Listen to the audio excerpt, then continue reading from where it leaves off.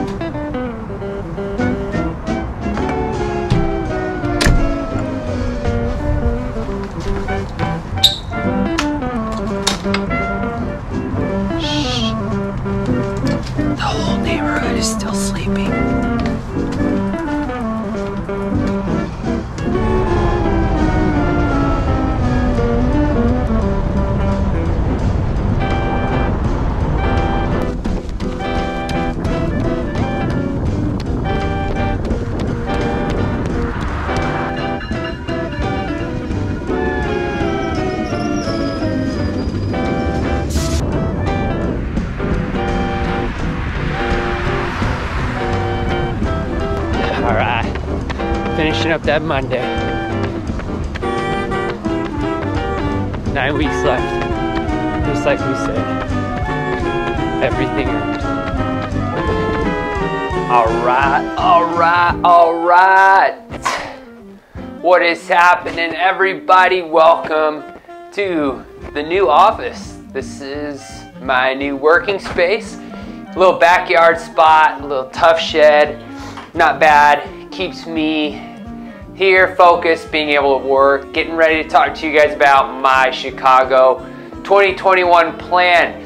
And so, as we get into this, understand I've been fortunate. I've been able to string along about three to four years uh, of running without getting injured. And so, when I went to go build this plan, my goal, as it's no secret, I've been wanting to hit sub 240 for this marathon. So when I am putting this together, I took what my previous PR was 2019 Chicago Marathon training plan. I took my 2020 where I was probably in the best marathon shape that I've ever been in training plan.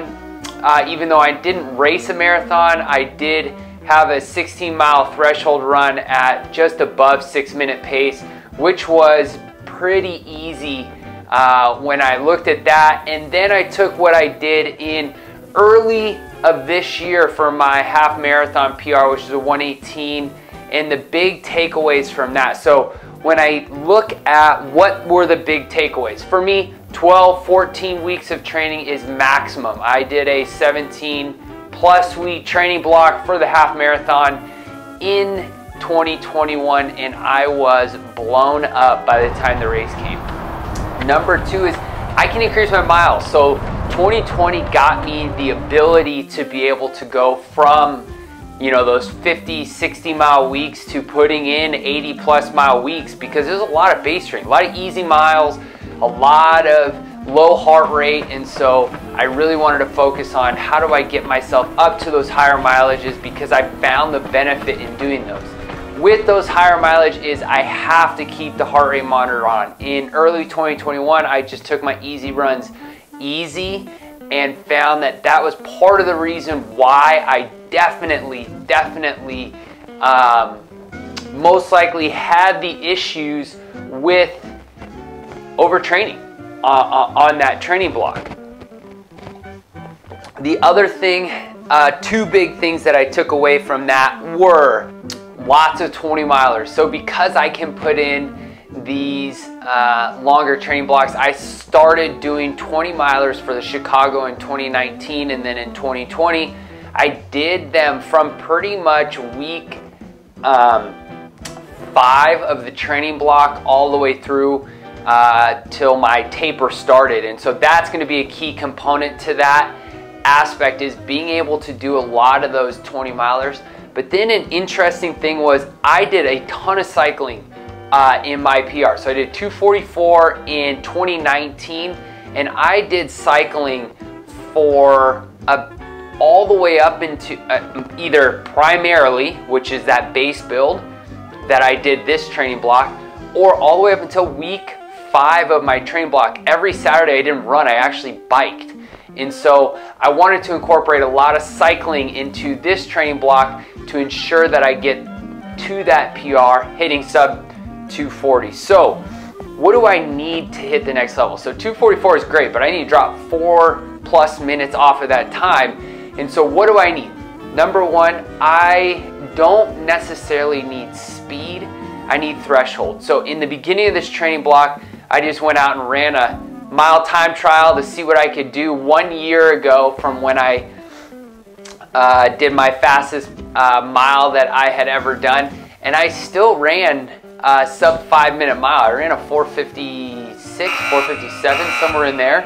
Um, and so I have the speed, but what I need is the longer threshold. And so when I looked at what are the workouts that really help me out the most is those longer threshold runs. So thinking of mile repeats, thinking of five times two miles, thinking of prog- progressive runs, thinking of uh, longer runs followed by a 5K threshold. Those are the types of workouts that I need to build into this training block in order for me to be successful. And then last but not least, I, have got to add strength training.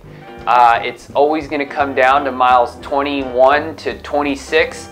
And if I can incorporate strength training, I'm finally actually going to be consistent with that this year. Um, I'm five weeks, four and a half weeks into the training block, and I'm already feeling the benefits of strength. Thank you, Wahoo, for helping me make sure I do my strength. So, uh, a little more coffee here. What are the key phases of my training? So, I'm to break it down into three really big phases. One, that base uh, building, two, the build, and then three, the taper. So that base training is kind of two blocks for me. One, I did a ton of cycling. I did about five-ish plus weeks of strictly cycling, capping it off with multiple days in the Swiss Alps, putting in 10,000 feet of climbing, uh, doing a lot of hills, doing a lot of cycling to be able to put in the miles but not have to worry so much about doing the pounding on the legs. So I incorporated a lot of that. And then the first three weeks of my running was a lot of base building, getting that mileage up to that 70 miles a week to where I know my body's ready, fresh, fit, and healthy getting into this training block. So that's phase one, the base. Number two is really what I call the working phase. And so I'm just starting to get into that about week five of this training block. So we're gonna be incorporating lots of speed, uh, which I consider speed now, around that one mile up to uh, two, three, four, five K speed work to be able to get the body used to what does a 605 mile feel like on a regular basis? What does that six mile, a six minute per mile feel like. So some of those key workouts, seven times one mile followed by four times 800 meters and all of that is just at uh, marathon pace. No faster and keeping that rest limited. Another workout will be uh, an eight mile progression run building up to marathon pace and then two times one mile at marathon pace. So again, nothing super speed, but just getting that body ready for marathon pace.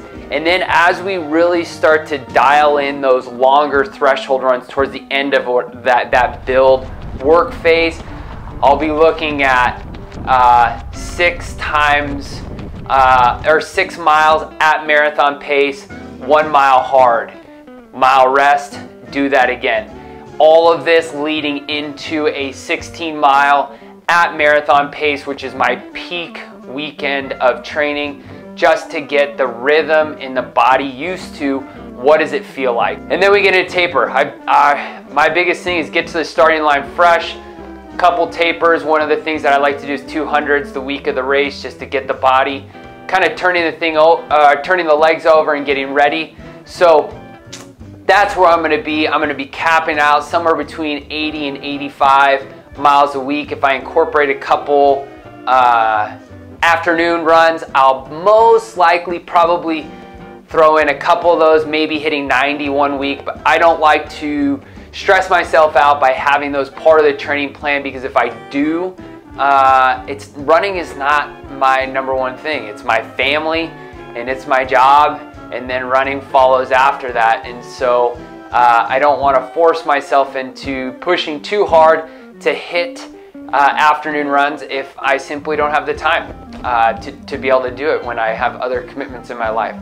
So if you want to download this training plan, it is in the description below for uh, you just to send over your email, send emails you over a PDF of this training plan. Uh, if you have any questions, let me know. Follow along, enjoy the journey, and I look forward to hopefully seeing many of you on the starting line of Chicago 2021. Take care, everybody.